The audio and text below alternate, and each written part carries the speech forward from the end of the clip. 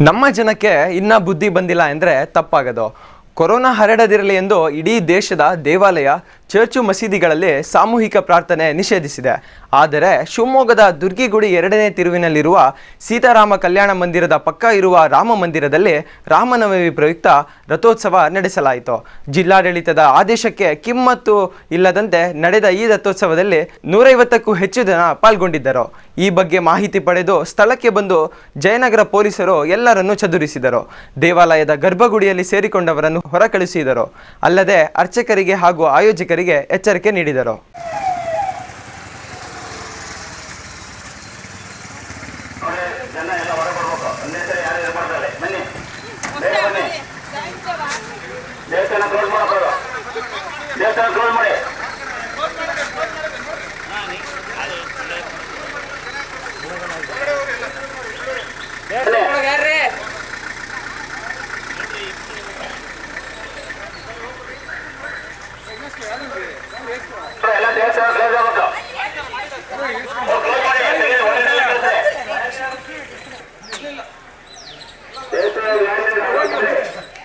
Close ಮಾಡಿ bill ಹಾಕ್ತದೆ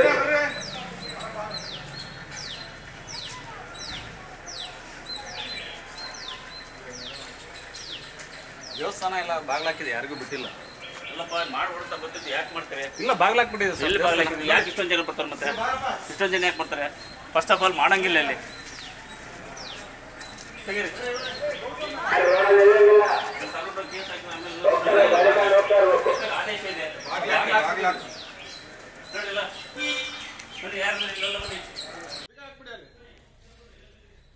ದೇವ್ರೆಲ್ಲ ಬಿಟ್ಟಿರ್ತೀರಾ? ದೇವ್ರೆಲ್ಲ ಬಿಟ್ಟು